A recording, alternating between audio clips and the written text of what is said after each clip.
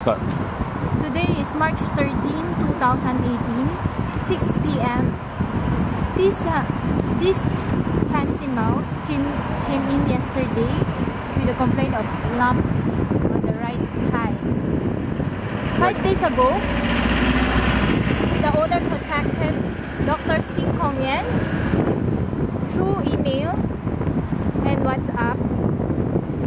Then he advised her to come as soon as possible so that we can do and prevent infection. Okay. Continuing with the story, now the the owner had gone to another vet, and the vet had uh, told her that the leg might have to be amputated. So she contacted me for a second opinion and also about the cost. Now the cost of the surgery will be around three hundred dollars because the tumor is so big and uh, it takes a longer time. If it's a small one, it should be much cheaper. But the owner waited until it's so big. Now we have seen the the mouse now. After surgery, you turn up, turn a bit here, and uh, actually the leg does not need to be amputated because the tumor could be taken out from the side under the skin. I can see the leg is still there, and that's what the owner should be happy because when you amputate the leg, of course, it's no good for the mouse. Now I need to sh- show the surgery. Okay, the first one. This is pre-op. Okay, Top view. top view, the side view actually. This is Mhm, also this side is view. No, it's considered a side view. Uh, under veterinary. Okay, this is you can see the tumor is a big subcutaneous tumor, and it's probably four centimeter or more. The next one, uh, this is the, wait, the other one after post-op. No, uh, so this is the tumor removed. You can see what's the diameter. What's the 4 cm more than that, right? by 3 cm. Uh, it's a it's a big fatty tumor, and uh, you can see the mouse was given anesthetic Zoletil IM. Zoletil 100, 0.05 ml. IM. Uh, these are very effective anesthetic, anesthetic, and it can be supplemented by isoflurane. Was any need to? Yes. There was need to supplement with isoflurane gas plus oxygen maintenance. The operation took, took about uh, 15 minutes, and and uh, that was yesterday. Yeah. The operation yesterday. Today. Today. The operation was today, and uh, you can see that.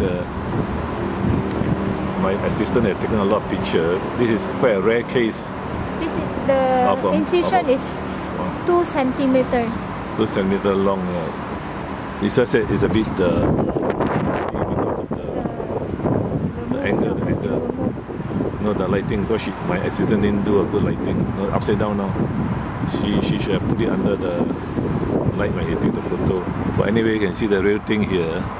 Now you can see we are showing the sutured area. You see, it's above the hip area. It's not very clear because of the. Uh, no, never mind. I'll show the real one. Take, take away the cover. Yeah. Because I'm doing it through the through the glass, so it's not very uh, clear. But since we have the real real real mouse here, there's no point showing slides. So uh, take out. You can see from here. Uh, very uh, large inc- incision. Also not very bright, but still better than because now it's evening time. huh? Okay, so let's see the mouse walking or not. Let's see the leg is still there. So it's, it's fortunate that the owner took the advice to to uh, come early. She wanted to wait till next week, but next week the, the tumor might be infected and uh, the chances of survival will be very slim. Tumors that grow big can get can get uh, necrotic. That means can can become bad. The cells may, may, may die because the tumors are cancerous. So if you don't uh, operate soon and you delay the tumor but may be infected and the mouse will be very weak. But as you can see now, the mouse looks okay. Goes up and that's what the owner wants. So he stays here overnight. Uh, one night right or two nights and goes home tomorrow. So for all, all mouse owners or even hamster, rabbits, guinea pigs, and uh, and dogs or cat owners, the smaller the the better recovery, uh, especially for small animals like hamsters. The tumor can be quite big. So this is actually a pet mouse, weighing about 27 grams, right? Post, uh, post out. So now we, we keep everything. We, we are going to. Uh, I, I hope that we're going to finish the video. Just to advise owners not to dilly dally. We, we're close already and uh, look for a hamster vet or, or the or the vet does surgery because not all vets do operations operations on uh, hamsters. And uh, Toa Vets is one of them. So this one probably comes from the internet. And the, the, the lady uh, the young lady? The lady was uh, was busy having shift work so she she couldn't make it. But anyway she did send somebody down and it's all done. Okay we can we can finish it.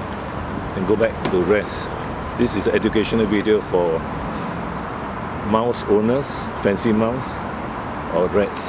Tumors are very common in mouse and rats and hamsters when they are older. This one is one one year old. One year. male or female? Female. female yeah. Okay you can go home already. Go back already